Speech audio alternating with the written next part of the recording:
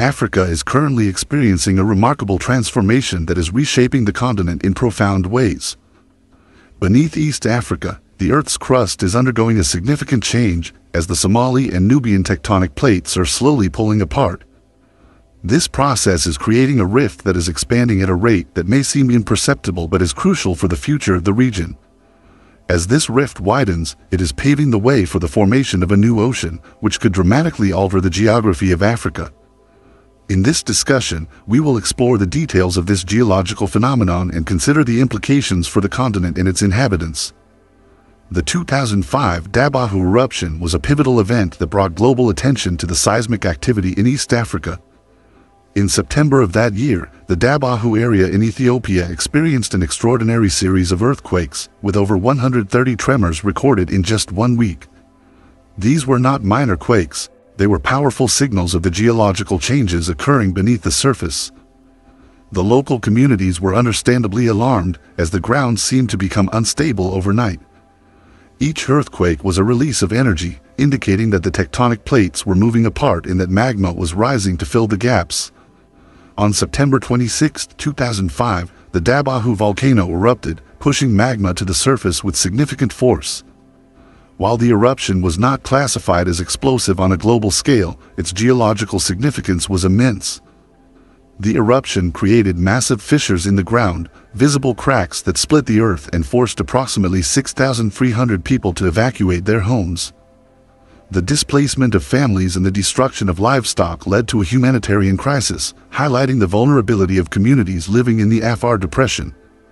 Despite the suffering, the eruption provided scientists with a unique opportunity to study the dynamics of tectonic activity in real time. In the aftermath of the Dabahu eruption, 37 miles of fissures opened up across the landscape, revealing the intense geological activity occurring beneath the surface. These fissures were not just superficial, they extended deep into the earth, showcasing the molten rock and thermal activity that were driving the rifting process. The displacement of the ground was astonishing, with sections moving several meters in just a few days. For scientists, this was a vivid demonstration of plate tectonics in action as the Somali and Nubian plates, previously thought to be locked in place, began to tear apart under immense stress. The Dabahu eruption marked a significant turning point in our understanding of the East African Rift. It demonstrated that the rifting process was not merely theoretical but a tangible reality the magma rising from below acted as a catalyst, pushing the plates further apart and creating pathways for new geological formations. This event provided a rare opportunity for researchers to observe rifting on a human timescale, allowing them to document and analyze each step of the process with unprecedented detail.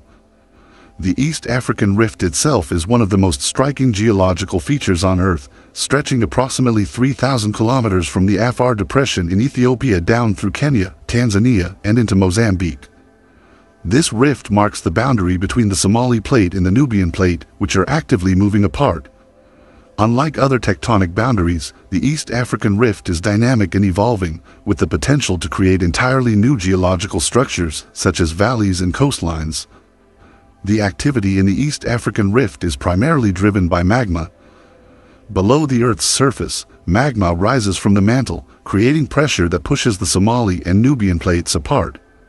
As these plates drift away from one another, the crust in the rift zone becomes thinner and more fragile, leading to the formation of fissures and fault lines. This process is a continuous cycle of destruction and renewal, where older crust is broken apart while new crust is formed. Gravity also plays a crucial role in the rifting process. As the rift expands, large sections of the Earth's crust sink under their own weight, creating dramatic escarpments and deep valleys. These valleys often fill with water, leading to the formation of iconic lakes like Lake Tanganyika and Lake Malawi, which trace the rift's trajectory.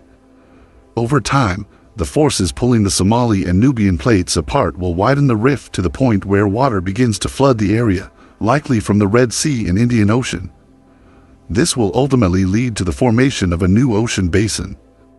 The creation of a new ocean will have profound implications for the climate, ecosystems, and biodiversity of the region. Coastal areas will emerge where none previously existed, creating new habitats for marine life. However, this transformation will also pose significant challenges for human populations, particularly those reliant on agriculture and livestock. The flooding caused by ocean encroachment could displace thousands of people, while volcanic activity associated with the rift may intensify, threatening nearby communities. The East African Rift serves as a vivid example of how tectonic forces are reshaping our world. The ongoing changes in this region are part of a larger geological narrative, one that hinges on the unique characteristics of the Afar Depression, the epicenter of rifting activity. The dynamics of the rift are driven by the slow but relentless movement of the Earth's tectonic plates. The Nubian plate and the Somali plate are pulling away from each other at a rate of up to 2 inches per year. While this may seem slow on human timescales, it accumulates over millions of years, resulting in significant structural changes to the Earth's crust. The East African Rift is essentially a nascent version of what occurs along the world's mid-ocean ridges, like the Mid-Atlantic Ridge. As the plates diverge, magma wells up from the mantle to fill the void, creating new crust. This cyclical process will eventually lead to the formation of a full-fledged ocean basin. The mechanism is both simple and profound. As magma pushes upward, it weakens the lithosphere, causing it to fracture and thin. These fractures develop into fault lines and fissures, creating steep valleys and escarpments. The geological processes driving the East African Rift are interconnected in profound ways. Plate divergence sets the stage, but it is the combination of magma upwelling, seismic activity, and crustal deformation that turns this rift into an active zone of change. The rift serves as a powerful demonstration of the delicate interplay between tectonic forces and surface processes, creating both challenges and opportunities for the region's ecosystems and communities. The formation of a new ocean in the East African Rift is a step-by-step -step process that transforms landlocked terrain into a vast body of water. This transformation unfolds in three distinct stages. First, the rift will evolve into a valley, marked by the formation of fault lines and fissures as tectonic plates diverge. Magma will rise through the thinning crust, creating volcanic activity and earthquakes that reshape the landscape. Over time, these processes will widen and deepen the Rift Valley, forming elongated depressions bounded by steep cliffs. Next, as the rift deepens, parts of it may dip below sea level. Water from adjacent oceans, like the Red Sea or Indian Ocean, will begin to seep in, forming isolated gulfs or narrow waterways. This stage is already exemplified by regions in the Afar Depression which are below sea level and show early signs of water intrusion. Finally, over millions of years, continued divergence will widen the Gulf into an expansive ocean basin. Magma will continuously rise to form new seafloor and tectonic activity will keep the boundary active, further expanding the ocean. Scientists estimate that a fully formed ocean will emerge in roughly 5 to 10 million years. Current rifting rates, approximately 2 inches per year, drive this timeline, although geological disruptions could accelerate or delay the progression. The East African Rift provides a rare chance to witness the early stages of oceanic creation, and the projected timeline offers a glimpse into the future of the region.